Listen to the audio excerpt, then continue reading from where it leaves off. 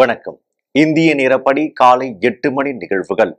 முதலில் ஜெம் முதன்மை நிகழ்வுகளை காணலாம். அரசு பள்ளி மாணவிகளுக்கு ரூபாய் ஆயிரம் வழங்கும் திட்டம். இன்று தொடங்கி வைக்கிறார் முதலமைச்சர் மு ஸ்டாலின். உடல் உறுப்பு தானம் செய்வதற்கு மக்களை ஊக்குவிக்க வேண்டும். குடியரசு துணைத் தலைவர் வேண்டுகோள். இருதரப்பு ஒத்துழைப்பு குறித்து பேச்சுவார்த்தை. அமெரிக்க உயர்மட்ட குழு இன்று இந்தியா வருகை. பாகிஸ்தான் வீரர்கள் எங்களை விட சிறப்பாக விளையாடினார்கள். இந்திய கேப்டன் ரோஹித் சர்மா கருத்து. இனி விரிவான நிகழ்வுகளை காணலாம்.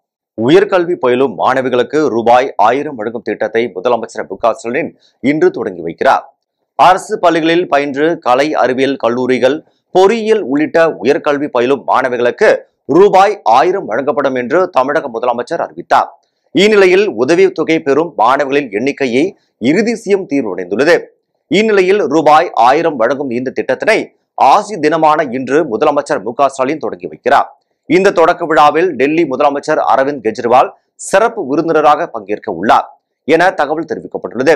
மேலும் உயர்கல்வி உறுதி திட்டத்தின் மாதம் ரூபாய் ஆயிரம் பெற தொண்ணூறாயிரம் மாணவிகள் தேர்வாகி உள்ளதாகவும் முதற்கட்டமாக சுமார் ஒரு லட்சம் மாணவியருக்கு மாதந்தோறும் ரூபாய் ஆயிரம் வழங்கப்பட உள்ளது எனவும் தெரிவிக்கப்பட்டுள்ளது.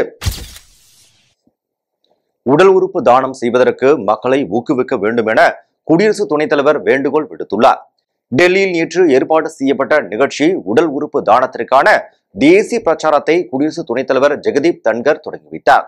அப்போது உரையாற்றிய அவர் உறுப்பு தானம் ஒரு முக்கியமான பிரச்சனை எனவும் உறுப்பு தானத்திற்கான ஆதரவு அமைப்பை உருவாக்க வேண்டியது அவசியம் என கூறினார். மேலும் மக்கள் உடல் உறுப்பு தானம் செய்வதை ஊக்குவிப்பதுடன் அவர்களின் சந்தேகங்களை போக்கி விழிப்புணர்வை ஏற்படுத்த வேண்டும் என தெரிவித்தார். எனவே இந்த முக்கியமான பிரச்சனையில் மத தலைவர்கள் மற்றும் ஊடகங்களும் பங்கேற்க வேண்டும் என்றும் இந்த விஷயத்தில் சரியான சூழலை உருவாக்கும் தாசிச்சா தேவ்கன் சம்மதி அமைப்பின் முயற்சி பாராட்டத்தக்கது எனவும் இந்த பணியில் ஊடகங்கள் மற்றும் சமூக ஊடகங்கள் பெரும் பங்கு வகிக்கின்றன என தெரிவித்தார். இருதரப்பு ஒத்துழைப்பு குறித்து பேச்சுவார்த்தை நடத்த அமெரிக்க உயர்மட்ட குழு இன்று இந்தியாவுக்கு வருகிறது தருகிறது. அமெரிக்க வெளியுறவுத்துறையின் தெற்கு மற்றும் மத்திய ஆசிய விவகாரங்களுக்கான இணையமைச்சர் டொனால்டோ லூ தலைமையிலான உயர்மட்ட குழு இன்று முதல் செப்டம்பர் எட்டாம் தேதி வரை இந்தியாவில் சுற்றுமணம் மேற்கொள்ள இருக்கிறது.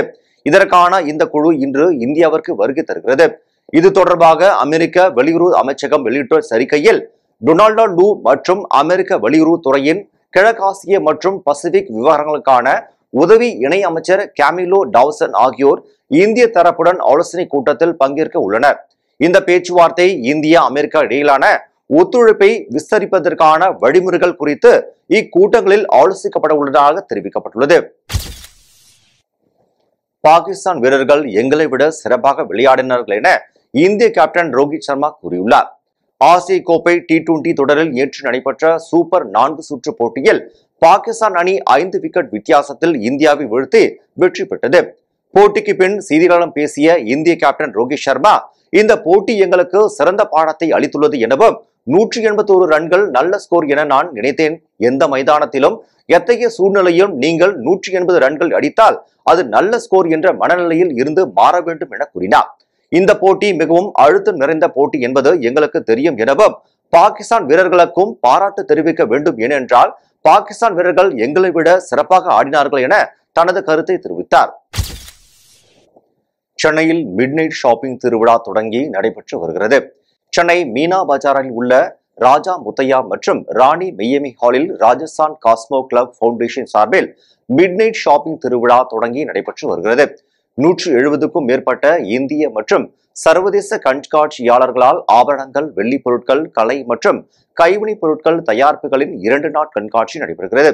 பெண் தொழில் முனைவோரை ஊக்குவிக்கவும் ஆதரிக்கும் வகையில் ஏற்பாடு செய்யப்பட்டுள்ளது. ராஜஸ்தான் காஸ்மோ கிளப் நிர்வாக இயக்குனர் சுஷில் மேத்தா செய்தியாளர்களை சந்தித்தார். அப்போது மீனா பஜார் கண்காட்சியில் வரும் லாபம் அனைத்தும் ராஜஸ்தான் காஸ்மோ கிளப் அறக்கட்டளை மூலம் ஏழை எளிய மக்களுக்கு உதவிகள் மழை வெள்ளத்தால் பாதிக்கப்பட்டோருக்கு உதவிகள் மருத்துவமனைகளில் புற்றுநோயாளிகள் மற்றும் தொழில்நோயாளிகளுக்கு உடைகள் வழங்குதல் போன்ற பொது சேவையை செய்து வருவதாக கூறினார். முதலமைச்சர் ஸ்டாலின் அனைத்து தரப்பு மக்களையும் ஒரே கண்ணோட்டத்தில் பார்க்க வேண்டும் என மத்திய இணையமைச்சர் எல் முருகன் தெரிவித்துள்ளார். திருப்பூரில் நடைபெற்று வரும் இஎஸ்சி மருத்துவமனை கட்டுமான பணிகளை ஆய்வு செய்த மத்திய இணையமைச்சர் எல் முருகன் பின்னலாடை துறையினுடன் கலந்துரையாடினார். அதனை அடுத்து செய்தியாளர்களை சந்தித்த அவர் திருப்பூர் இந்தியாவின் பொருளாதாரத்தில் முக்கிய பங்கு வகிப்பதாக கூறினார். தொழிலாளர்கள் நலன் கருதி எண்பது கோடி மதிப்பில் நூறு படுக்கை கொண்ட இஎஸ்சி மருத்துவமனை மே இருபத்தி மூன்றாம் தேதி பணி முடிவடை இலக்கு நிர்ணயம் செய்யப்பட்டுள்ளது என்றார்.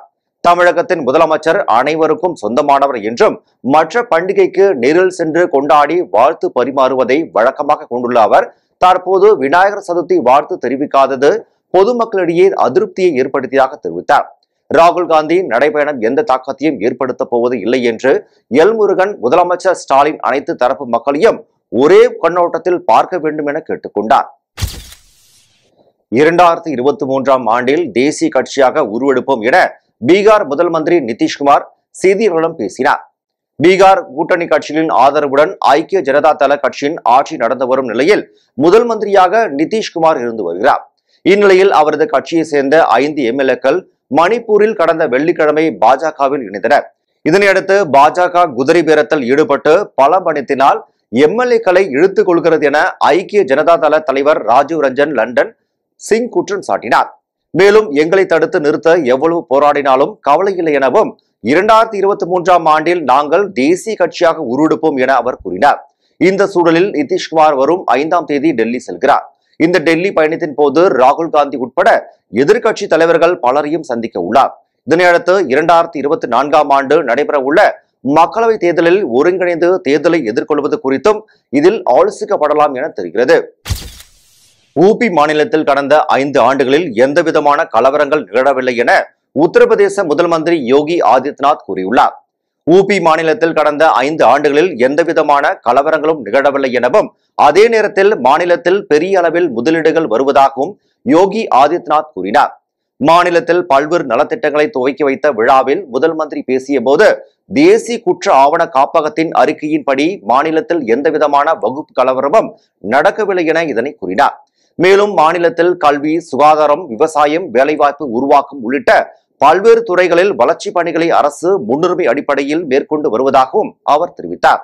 அதே போன்று ஊபி மாநிலம் தொழில் முனைவோருக்கான விருப்பமான இடமாக மாறி வருவதாகவும் அதன் மூலம் வேலைவாய்ப்புகள் உருவாக்கப்படுவதாகவும் யோதி ஆதித்யநாத் கூறினார். வேதாரண்யத்தில் தொடர் மழையால் நேரடி நெல் விதைப்பு பணிகள் பாதிக்கப்பட்டுள்ளன. நாகை மாவட்டம் வேதாரண்ய பகுதியில் விட்டு விட்டு மழை பெய்து வருகிறது. இந்த மழையால் தற்போது மானாவரி பகுதியில் நேரடி நெல் விதைப்பு பணிகள் பாதிக்கப்பட்டுள்ளன. இதனால் பஞ்சநதி குளம் தென்னாட்டார் வாய்மேடு சிந்தாமணி காடு தகட்டூர் மற்றும் சுற்றுவட்டார பகுதிகளில் வயல்வெளிகளில் தண்ணீர் தேங்கியுள்ளது. விவசாயிகள் கோடை உழவு செய்ய முடியாமலும் நேரடி நெல் விதைப்பு செய்ய முடியாமலும் விவசாயிகள் தவிர்த்து வருகின்றனர். மழை நின்ற பிறகு விவசாய பணிகள் ஈடுபட உள்ளதாக விவசாயிகள் தெரிவித்தனர். நாகப்பட்டினம் மாவட்டம் வேகனம் தாலுக்கா பஞ்சகுளம் மேற்கு பஞ்சகுளம் நடிச்சேத்து பஞ்சகுளம் கழிச்சேத்து தென்னடாறு வாய்மேடு எல்லாருக்கும் இந்த மழை வந்து இப்போ பெஞ்சது வந்து விவசாயத்துக்கு கெடுதல் தான். இன்னொரு பத்து நாள் வெக்காளிச்சி பேஞ்சதுன்னா கொஞ்சம் விவசாயம் நாங்கள் நல்லா பண்ணியிருப்போம். இப்போ வந்து நாங்களே இப்போ சேரடித்து பெரம்பு வச்சு நாற்று விட்ற மாதிரி தெளிக்கிறோம். இது ஆடுதோர் ஐம்பத்தொன்று நாங்கள் பதினோரு ஏக்கர் சாவடி பண்ணுறோம் இப்போ மூணு நாளைக்கு முன்னாடி தெளிச்சிட்டோம் ஒரு பாதி. அது இன்றைக்கி இப்போ முளை வந்துகிட்டு இருக்குது இப்போ இது வந்து இன்னொரு அஞ்சு ஏக்கர் இன்றைக்கி டிராக்டர் வச்சு ரொட்டேட்டர் வச்சு ஓட்டிட்டு பெரம்பு வச்சு எடுத்துட்டு நாற்று விட்ற மாதிரி வெ- விதை தெளிக்கிறோம். சேலம் மேட்டூர் காவிரியில் நூற்றுக்கணக்கான விநாயகர் சிலைகள் கரைக்கப்பட்டன. விநாயகர் சதுர்த்தியை ஒட்டி சேலம் மாவட்டத்தில் பல்வேறு பகுதிகளில் விநாயகர் சிலைகள் வைத்து வழிபாடு செய்யப்பட்டது. ஐந்தாம் நாளையொட்டி குணாண்டியூர் திப்பம்பட்டி ஆத்தூர் நங்கவள்ளி ஜலகண்டபுரம் மற்றும் மேட்டூர் சுற்று வட்டார பகுதிகளில் இருந்து நூற்றுக்கணக்கான சிலைகள் காவிரியில் கரைக்கப்பட்டன. முன்னதாக குணாண்டியூரில் போக்குவரத்து நெரிசல் ஏற்பட்டது. சிலைகளை கரைக்கும் பகுதிகளில் போலீசார் மற்றும் ஊர்காவல் படையினர் தீயணைப்பு வீரர்களும் பாதுகாப்பு பணியில் ஈடுபட்டனர். கள்ளக்குறிச்சியில் ரோட்டரி சங்கம் சார்பில் மாபெரும் இலவச கண் சிகிச்சை முகாம் நிகழ்ச்சி நடைபெற்றது. கள்ளக்குறிச்சி மாவட்டத்தில் ரோட்டரி சங்கம் சார்பாக பொதுமக்கள் பயன்படும் வகையில் பல்வேறு முகாம்களை இலவசமாக செய்து வருகின்றனர் அதன் தொடர்ச்சியாக கள்ளக்குறிச்சி ரோட்டரி சங்க நூற்றாண்டு மண்டபத்தில் ரோட்டரி சங்கம் மற்றும் கோவை சங்கரா கண் மருத்துவமனை மற்றும் கள்ளக்குறிச்சி மாவட்ட பார்வை இழப்பு தடுப்பு சங்கம் சார்பாக இலவச கண் சிகிச்சை முகாம் நடத்தப்பட்டது. இந்த நிகழ்ச்சி ரோட்டரி சங்க தலைவர் மூர்த்தி தலைமையில் நடைபெற்ற நிலையில் செயலாளர் பாலகிருஷ்ணன் பொருளாளர் முருகன் துணை செயலாளர் சீனிவாசன் மற்றும் இயக்குனர் அம்பேத்கர் உள்ளிட்ட நிர்வாகிகள் மற்றும் உறுப்பினர்கள் பலர் கலந்து கொண்டனர். இதில் இருநூற்று ஐம்பதுக்கும் மேற்பட்டோருக்கு மருத்துவர்கள் பார்வை குறைபாடு சோதனை மற்றும் கண்ணில் புரை பரிசோதனை செய்து இலவசமாக அறுவை சிகிச்சை செய்வதற்கு ஏற்பாடு செய்யப்பட்டது. கோபிச்செட்டிப்பாளையம் அருகே உள்ள நம்பியூர் பகுதி விவசாயிகள் விநாயகர் சிலையை பாரம்பரிய முறையில் இரட்டை மாட்டு வண்டியில் ஊர்வலமாக எடுத்து சென்று வாய்க்காலில் கரைத்தனர். ஈரோடு மாவட்டம் நம்பியூர் அருகே உள்ள கொன்னமாடி பகுதியை சேர்ந்த விவசாயிகள் விநாயகர் சதுர்த்தியை கொண்டாடும் விதமாக தங்களது தோட்டத்தின் அருகில் விநாயகர் சிலையை பிரதிஷ்டி செய்து வழிபாடு நடத்தினர். அதனைத் தொடர்ந்து ஐந்தாம் நாளின் முடிவில் விநாயகர் சிலையை கரைக்கும் நிகழ்ச்சி நடைபெற்றது. இந்த நிகழ்ச்சியில் கிராம மக்கள் ஒன்று சேர்ந்து விநாயகர் சிலையை இரட்டை மாடுகள் பூட்டிய வண்டியில் வைத்து நம்பியூரின் முக்கிய வீதிகளில் ஊர்வலமாக எடுத்து சென்று கீழ்பவானி வாய்க்காலில் கரைத்தனர். பெரம்பலூர் மாவட்டத்தில் வாக்காளர் அட்டையுடன் ஆதார் எண்ணை இணைக்கும் சிறப்பு முகாம் நிகழ்ச்சி நடைபெற்றது. பெரம்பலூர் மாவட்டம் முழுவதும் பல்வேறு இடங்களில் வாக்காளர் அட்டையுடன் ஆதார எண்ணை இணைக்கும் முகாம் நடத்தப்பட்டது. இந்த முகாமில் ஏராளமான வாக்காளர்கள் ஆர்வத்துடன் கலந்து கொண்டு வாக்காளர் அட்டையுடன் ஆதார எண்ணை இணைப்பதற்கான விண்ணப்பத்தினை பூர்த்தி செய்து வாக்குச்சாவடி நிலைய அலுவலர்களும் வழங்கினர். இந்நிலையில் குரும்பலூர் அருகே நடைபெற்ற முகாமில் வருவாய்த்துறை ஆய்வாளர் சசந்தி கிராம நிர்வாக அலுவலர்கள் செல்வி சசிகலா மற்றும் வாக்குச்சாவடி நிலைய அலுவலர்கள் கிராம நிர்வாக அலுவலர் உதவியாளர்கள் கலந்து கொண்டனர். திருப்பூரூர் அருகே புதுப்பாக்கம் ஊராட்சியில் பிரதம மந்திரி ஆவாஸ் யோஜனா திட்டத்தின் கீழ் எம்பி சிறப்பு முகாம் நிகழ்ச்சி நடைபெற்றது. செங்கல்பட்டு மாவட்டம் திருப்பூரூர் அருகே புதுப்பாக்கம் ஊராட்சியில் பிரதம மந்திரி ஆவாஸ் யோஜனா எம்பி முகாம் அரசினர் ஆதி திராவிடர் மேல்நிலைப் பள்ளியில் நடைபெற்றது. இந்த முகாமில் பட்டா மாற்றுதல் ஆதார் அடையாள அட்டை பெயர் சேர்த்தல் நீக்குதல் குடும்ப அடையாள அட்டை பெயர் சேர்த்தல் வாக்காளர் அடையாள அட்டை புதிய பதிவு செய்தல் ஆகியவை செய்து தரப்பட்டது. இந்த நிகழ்ச்சியில் புதுப்பாக்கம் ஊராட்சி மன்ற தலைவர் ஆறுமுகம் தலைமையில் துணைத் தலைவர் வார்டு உறுப்பினர்கள் கலந்து கொண்டனர். இதில் ஊராட்சியில் உள்ள இருநூறுக்கும் மேற்பட்ட நகல் சான்றிதழ்கள் மனுவாக பெறப்பட்டது. சென்னையில் காசிமேடு பகுதியில் விநாயகர் சதுர்த்தி விழாவை தொடர்ந்து பூஜை செய்து வழிபட்ட விநாயகர் சிலைகளை இஸ்லாமியர்கள் ஒன்று சேர்ந்து கடலில் கரைத்தனர். Chennai RK Nagar Tondiarpet Karnesh Nagar Ajeesh Nagar J J Nagar Bharathi Nagar Karumariamman Nagar உள்ளிட்ட பகுதிகளில் பாரத் முன்னணி சார்பில் ஒன்பது விநாயகர் சிலைகளை பொது இடங்களில் வைக்கப்பட்டு சிறப்பு பூஜைகள் செய்யப்பட்டது. இதனையடுத்து தண்டையார்பேட்டை வைத்தியநாதன் மேம்பாலம் அருகே பர்மா முஸ்லிம்கள் கலந்து கொண்டு இந்து முஸ்லிம் ஒற்றுமை வலியுறுத்தும் வகையில் தேங்காய் மற்றும் பூசணிக்காய் உடைத்து வழிபாடு செய்து இனிப்புகள் வழங்கி கொண்டாடினர். அதனைத் தொடர்ந்து தண்டையார்பேட்டையில் இருந்து போலீசார் பாதுகாப்புடன் மேலதாளங்கள் முழங்க விநாயகர் சிலைகளை ஊர்வலமாக வாகனங்களில் கொண்டு சென்று காசிமேடு மீன்பிடி துறைமுகம் கடற்கரையில் கடைத்தனர். இந்நிலையில் காசிமேடு மீன்பிடி துறைமுகம் அருகே கடற்கரையில் ராட்சத கிரேன் மூலம் விநாயகர் சிலைகள் கடலில் கரைக்கப்பட்டது. விநாயகர் சதுர்த்தி விழாவிற்கு மத நல்லிணக்க விநாயகர் சதுர்த்தி ஊர்வலமாக இது நடைபெற்று கொண்டிருக்கின்றது. இந்த ஏரியாவை பொறுத்த வரைக்கும் நேதாஜி நகர் தண்டையார்பேட்டை இந்த ஏரியாவை பொறுத்த வரைக்கும் வந்து இந்துக்களும் முஸ்லீம்களும் வந்து தொப்புள் கொடி உறவாகத்தான் நாங்கள் இருந்து கொண்டு இருக்கின்றோம் அதே நேரத்தில் இந்து இந்து முஸ்லீம் கிறிஸ்தவர்களுக்குள்ள எங்களுக்குள்ள எந்த விதமான பாடுபாடும் இல்லை. அதே மாதிரி மீனாதி விழாவிற்கு வர அங்கே ஊர்வலம் தொடங்குவதற்கு முன்பாக இங்கேருந்து க கோவில் விழா இல்லை கோவிலுடைய அர்ச்சகர் வந்தால்தான் அங்கே அங்கே தொடங்க தொடங்கப்படும் அதே மாதிரி இங்கே வந்து முஸ்லீம்கள் வந்தால்தான் இங்கே வந்து நடக்கும். அப்போ இது எதை எதை காரணமாக காட்டுகிறது என்று சொன்னால் மத நல்லிணக்க விநாயகர் சதுர்த்தி என்பதை இந்த இடத்திலே நாம் உறுதியோட கூலிக்கொள்கின்றோம் இங்கே இந்துக்களும் முஸ்லீம்களும் கிறிஸ்தவர்களும் தொப்புள் கொடி உறவு என்பதை மீண்டும் மீண்டும் மீண்டும் ஒருவரை நாங்கள் உறுதியோட கூறிக்கொள்ளு கூறிக்கொள்கின்றோம் அனைவர்களும் ஓர்தாய் மக்களாக இருந்து இந்த காரியத்தை சிறப்பாக நடைபெறுவதற்கு ஐயா டிசி அவர்களும் ஐயா இது ஆய்வாளர் அவர்களும் இங்கே இருக்கக்கூடிய இந்து முஸ்லீம்கள் வந்து கலந்து கொண்டதற்கு இதை இதை பர்மா தமிழ் முஸ்லீம் ஜும்மா பள்ளிவாசல் சார்பாக மீண்டும் ஒரு முறை நன்றியும் வாழ்த்துக்களையும் தெரிவித்துக் கொள்கிறேன். எங்களுக்கு வந்து வார அதாவது வருஷ வருஷம் வந்து எங்களுக்கு வந்து அவங்க வந்து பதினஞ்சு நாளைக்கு முன்னாடி எங்களை இன்வைட் பண்ணிடுவாங்க நாங்கள் என்ன இங்கே வந்துடுவோம் அவங்க வந்துடுவோம் வந்து அந்த பூஜையில் நாங்கள் கலந்துக்கிறோம். அது அவங்களும் நாங்களும் வந்து வேறுபாடு கிடையாது. நாங்கள் ஒன்று தேங்க அவங்களெல்லாம் தேங்க கூட அவங்க என்ன செய்கிறாங்களோ நம்மளும் அதை செஞ்சுக்கிட்டு இருப்போம் இன்ஷா அது உங்க பேரு? என் பேர் முகமது நாசர். நம்ம காவல்துறை அஞ்சு நாள் இப்போ ஒத்துழைப்பு சொல்லுங்க. இந்த இதை காவல் அவங்க வந்து கா காவல்துறை அதிகாரிகளும் ஐயா டிசி பவன்குமார் ரெட்டி அவர்களும் ஐயா வந்து எம் மா ரவி அவர்களும் இந்த இதில் வந்து க- கலந்துக்கிட்டாங்க கலந்துக்கிட்டது மிக சிறப்பாக இருந்துச்சு. அதே மாதிரி வந்து வரக்கூடிய காலகட்டங்களில் இது மாதிரி சிறப்பாக நடக்கிறதுக்கு வந்து நம்மளும் துவா செய்வோம். எல்லா மக்களும் வந்து தமிழ்நாட்டு மட்டுமல்ல இந்தியாவில் இருக்கக்கூடிய எல்லா இந்துக்களும் முஸ்லீம்களும் கிறிஸ்தவர்களும் ஒன்றோடு ஒன்றாக இருந்து இந்த தேசத்தை வளமுள்ள நாடாக ஆக்குவதற்கு நான் உறுதி கொள்வோன்னு சொல்லலாம். தேங்க்யூ நெல்லையில் அன்னை தெரசா அறக்கட்டளை மற்றும் சிவராம் கலைக்கூடம் சார்பில் அன்னை தெரசா நினைவு தினத்தை ஒட்டி அவரது புகழ் ஓவியம் வரையும் நிகழ்ச்சி நடைபெற்றது. நெல்லை மாவட்டம் பாளையங்கோட்டையில் அன்னை தெரசா அறக்கட்டளை மற்றும் சிவரம் கலைக்கூடும் சார்பாக அன்னை தெரசாவின் நினைவு தினத்தை போற்றும் நிகழ்ச்சி நடைபெற்றது.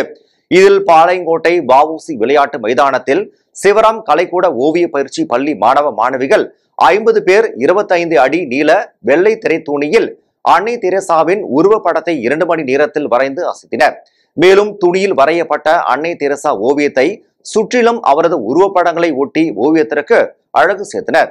இந்த நிகழ்ச்சியில் அன்னை தெரசா அறக்கட்டளை சார்பில் ஓவியத்தை வரைந்த மாணவர்களுக்கு சான்றிதழ்கள் வழங்கப்பட்டது.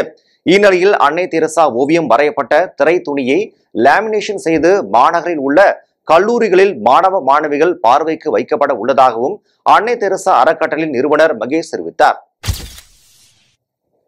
நீலகிரி அருகே குன்னூரில் இந்து முன்னணி சார்பில் எழுபதுக்கும் மேற்பட்ட விநாயகர் சிலைகள் விசர்ஜன ஊர்வலம் நிகழ்ச்சி நடைபெற்றது. நீலகிரி மாவட்டம் குன்னூரில் இந்து முன்னணி சார்பாக விநாயகர் சதுர்த்தி விழா கொண்டாடப்பட்டது. விநாயகர் சதுர்த்தியை ஒட்டி பல்வேறு இடங்களில் விநாயகர் சிலைகள் வைக்கப்பட்டு வழிபாடு நடத்தி வந்த நிலையில் விசாஜன ஊர்வலம் நிகழ்ச்சி நடைபெற்றது. இதில் எழுபதுக்கும் மேற்பட்ட விநாயகர் சிலைகள் ஊர்வலமாக எடுத்து செல்லப்பட்ட நிலையில் சீம்ஸ் பூங்காவில் இருந்து புறப்பட்டு முக்கிய சாலைகளின் வழியாக குன்னூர் பேருந்து நிலையம் வந்தடைந்தது. அதனைத் தொடர்ந்து மேட்டுப்பாளையம் சாலையில் உள்ள லாஸ் பால்ஸ் நீர்வீழ்ச்சியில் விநாயகர் சிலைகள் கரைக்கப்பட்டது. இந்த விநாயகர் விசர்ஜன ஊர்வலத்தில் பெண்கள் குழந்தைகள் உட்பட ஆயிரத்துக்கும் மேற்பட்டவர்கள் கலந்து கொண்டு சுவாமி தரிசனம் செய்தனர். மேலும் இதில் பக்தர் ஒருவர் பறவை காவடி எடுத்து ஊர்வலத்தில் கலந்து கொண்டார். ரஷ்யாவில் தொடர்ந்து இரண்டாவது நாளாக ஐம்பதாயிரத்துக்கும் மேற்பட்டவர்களுக்கு கொரோனா தொற்று ஏற்பட்டுள்ளதாக தகவல் தெரிவிக்கப்பட்டுள்ளது. ரஷ்யாவில் தொடர்ந்து இரண்டாவது நாளாக ஐம்பதாயிரத்துக்கும் மேற்பட்ட புதிய கொரோனா தொற்று பாதிப்புகள் பதிவாகியுள்ளது. கடந்த இருபத்தி நான்கு மணி நேரத்தில் நாட்டில் தொண்ணூத்தி இரண்டு கொரோனா வைரஸ் தொடர்பான இறப்புகள் பதிவாகியுள்ளன என்று கொரோனா வைரஸ் தடுப்பு பணிக்குழு தெரிவித்துள்ளது. ரஷ்யாவில் கடந்த வெள்ளிக்கிழமை அன்று சுமார் ஐம்பதாயிரத்து தொள்ளாயிரத்து ஐம்பத்தி இரண்டு புதிய கொரோனா தொற்று பாதிப்புகள் பதிவு செய்தது. கிட்டத்தட்ட ஆறு மாதங்களில் முதல் முறையாக ஐம்பதாயிரத்தை தாண்டி உள்ளதாக சுகாதாரத்துறை அதிகாரிகள் தெரிவித்தனர். இந்த திடீர் அதிகரிப்பு ரஷ்ய மக்களிடையே அச்சத்தை ஏற்படுத்தியுள்ளது. இலங்கைக்கு திரும்பியுள்ள கோத்தபய ராஜபக்ஷவை கைது செய்ய வேண்டும் என போராட்டக்காரர்கள் வலியுறுத்தியுள்ளனர். இலங்கையில் பொருளாதார நெருக்கடியால் தவித்த மக்கள் போராட்டங்களில் ஈடுபட்டதால் அதிபராக இருந்த கோத்தபய ராஜபக்ஷே நாட்டை விட்டு வெளியேறினார். மாலத்தீவு சிங்கப்பூர் மற்றும் தாய்லாந்து நாடுகளில் தஞ்சம் அடைந்திருந்த அவர் ஐம்பத்தோரு நாட்களுக்கு பிறகு மீண்டும் இலங்கை திரும்பினார். இந்நிலையில் முன்னாள் அதிபரான கோத்தபய ராஜபக்சேவுக்கு இலங்கை அரசு சார்பில் கொழும்பில் பங்களா ஒதுக்கப்பட்டு உள்ளது. இந்த பங்களாவை சுற்றி பலத்த பாதுகாப்பு போடப்பட்டுள்ள நிலையில் இருபத்தி நான்கு மணி நேரமும் பாதுகாப்பு படையினர் தீவிர கண்காணிப்பில் ஈடுபட்டு வருகிறார்கள். இதனையடுத்து முன்னாள் அதிபர் ஒருவருக்கு வழங்கப்படும் அனைத்து சலுகைகளும் கோத்தபய ராஜபக்சவுக்கு கொடுக்கப்படும் என்று இலங்கை அதிபரின் செயலாளர் சமன் ஏக நாயக்கா தெரிவித்துள்ளார். இந்த நிலையில் கோத்தபய ராஜபக்சவை கைது செய்ய வேண்டும் என்று போராட்டக்காரர்கள் மற்றும் சில தலைவர்கள் வலியுறுத்தியுள்ளனர். மீண்டும் ஜெம் முதன்மை நிகழ்வுகள். அரசு பள்ளி மாணவிகளுக்கு ரூபாய் ஆயிரம் வழங்கும் திட்டம் இன்று தொடங்கி வைக்கிறார் முதலமைச்சர் மு ஸ்டாலின். உடல் உறுப்பு தானம் செய்வதற்கு மக்களை ஊக்குவிக்க வேண்டும். குடியரசு துணைத் தலைவர் வேண்டுகோள். இருதரப்பு ஒத்துழைப்பு குறித்து பேச்சுவார்த்தை. அமெரிக்க உயர்மட்ட குழு இன்று இந்தியா வருகை. பாகிஸ்தான் வீரர்கள் எங்களை விட சிறப்பாக விளையாடினார்கள்.